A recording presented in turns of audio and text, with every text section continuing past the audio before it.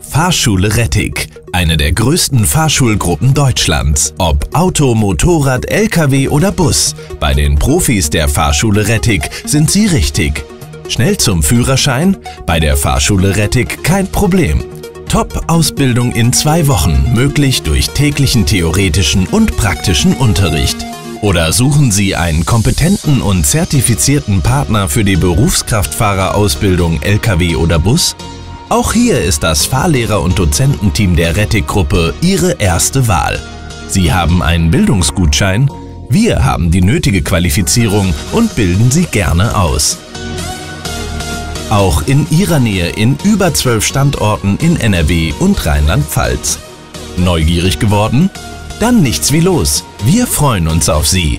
Die Fahrschule Rettig. Ihre Nummer 1 für den Führerschein. Großes närrisches Gipfeltreffen der Kindertolitäten im Siegburger Kreishaus. Einen besseren Start kann es für die Jeckentage nicht geben.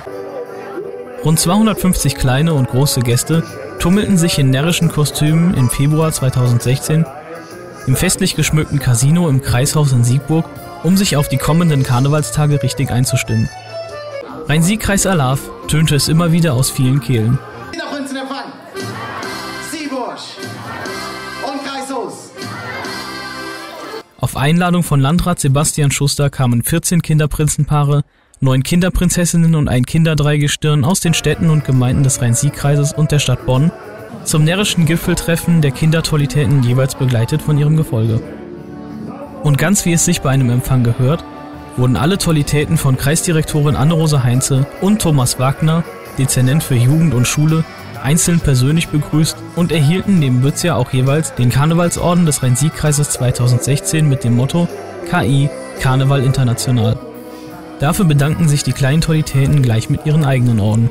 Ich denke, dass der Kinderprinzenempfang auch für die ganzen Kindertolitäten, für die Prinzessinnen und Prinzen was ganz Besonderes ist. Die sind noch ein bisschen aufgeregt.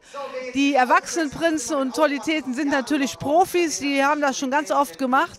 Und die Kinder freuen sich einfach hier hinzukommen, ein schönes Programm zu sehen, die Orden auszutauschen. Und äh, ich glaube, das macht Riesenspaß und Riesenfreude. Und das ist so ein richtig schöner Einstieg für die Kinder eben jetzt in die tollen Tage. Und ich glaube schon, das ist was ganz Besonderes. Da werden sie sich noch lange dran erinnern. Ein flottes und abwechslungsreiches Programm mit Musik, Gesang und Tänzen durch das Sitzungspräsident Hans-Hermann Klein von der KG für uns Penz aus Neunkirchen-Seelscheid führte, brachte die Gäste in Stimmung.